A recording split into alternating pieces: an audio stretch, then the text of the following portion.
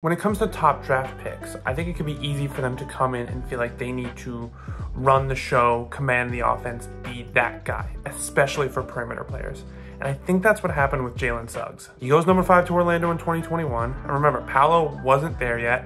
And you look at Orlando's roster, and they have a bunch of intriguing young guys like Fultz, Jonathan Isaac, Wendell Carter. Franz came in with Suggs, but there was no like this is the guy, this is the face of our franchise. That position was sort of up for grabs. And if you're Suggs and you're drafted as high as you are, and you had some of those like on ball, running the offense reps in college at Gonzaga and you were compared to guys like De'Aaron Fox and Kemba Walker coming out of college, it could be very easy for him to feel like, okay, this falls on me. I need to be that guy for the Magic offense. The only problem for Suggs is that he wasn't really built for that kind of role at the NBA level. He struggled mightily with efficiency, didn't shoot well from beyond the arc, turned the ball over a lot, fouled a lot. But overall, through his first few years, it was just very clear that he wasn't really that guy. And then obviously things in Orlando started to change because they drafted Paolo Banchero number one, and all of a sudden he becomes that guy. He becomes the face of the franchise. That position has been filled.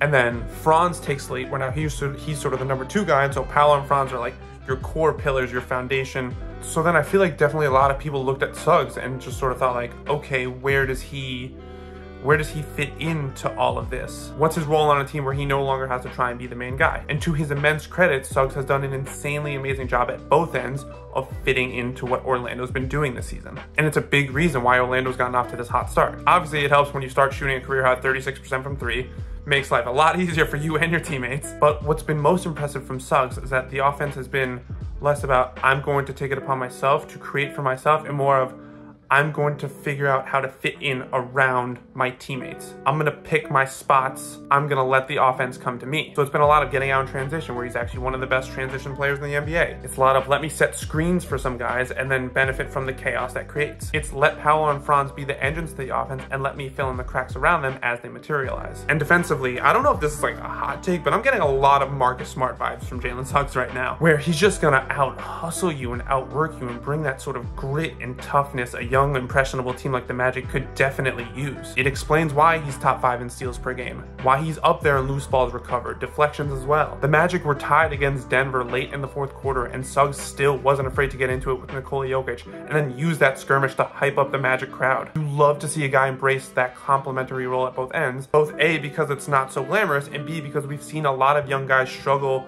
to accept the fact that they might not be the guy. So Suggs deserves all the credit in the world for recognizing his own shortcomings over his first two years, reading the terrain of what this Magic roster is becoming, as well as what they need, and adjusting his play accordingly. And the results have clearly spoken for themselves. The Magic are second in the East, they've won six straight, they have a top two defense, and so much of that is because of Suggs. And aside from the fact that his newfound contributions are contributing to winning, I also think it's helped change the outlook of Suggs' career. Whereas there was a time where it might have seemed like he was going to get squeezed out of Orlando's future and then who knows where he'd go. Now he seems like an indispensable part. What do you think of Suggs? What do you think of the Orlando Magic? How far do you think they can go? I want to hear from you.